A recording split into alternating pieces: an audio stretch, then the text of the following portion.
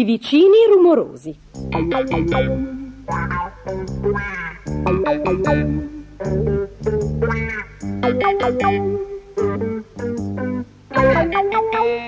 In una casetta che sorgeva in mezzo ad altre casette perfettamente uguali, fra la chiesa e la stazione, abitava un uomo molto infelice. Era infelice perché viveva fra un meccanico di motociclette e una maestra di musica. Ogni mattino l'uomo veniva svegliato da colpi di martello, strombazzamenti e rombi di motore che ingranavano, provenienti dal cortile del meccanico. Sembrava che la casa dovesse crollare da un momento all'altro per il fracasso.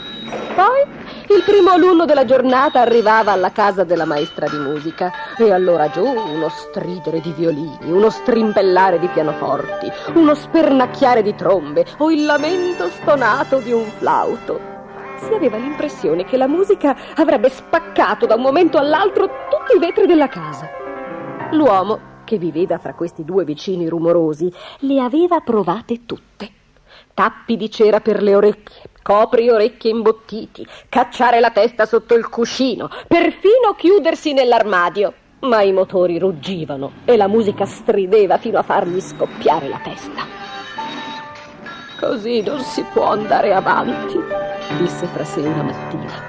Ma non riusciva nemmeno ad udire i propri pensieri e dovette quindi urlarlo forte. Così non si può andare avanti! Andò dal meccanico che abitava nella casa accanto e gli offrì un bel gruzzolo affinché vendesse la sua casa e se ne andasse. Agli ordini, comandante, disse il meccanico, che non aveva mai avuto fra le mani unte tanto denaro. Me ne andrò domani. Poi l'uomo andò dalla maestra di musica e le offrì tutto il denaro che gli restava perché traslocasse. Oh, ma certo, naturalmente, caro, disse la maestra, che non aveva mai visto tanti soldi in vita sua. Me ne andrò domani stesso. E così L'uomo della casa di mezzo se ne andò tutto felice a rinchiudersi nell'armadio con un cuscino sulla testa e con i copri orecchi imbottiti per l'ultima volta. E si chiedeva come mai quella fantastica idea non gli fosse venuta in mente prima. Il mattino dopo andò perfino ad aiutare la maestra a fare le valigie.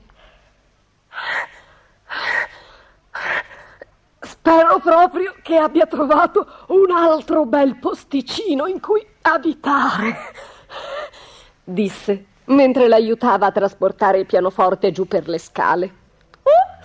Grazie, sono stata davvero molto fortunata. Ho saputo che anche il meccanico che vive due porte più in là cercava un posto dove andare ad abitare e così io vado ad abitare nella sua casa e lui verrà ad abitare nella Thank you.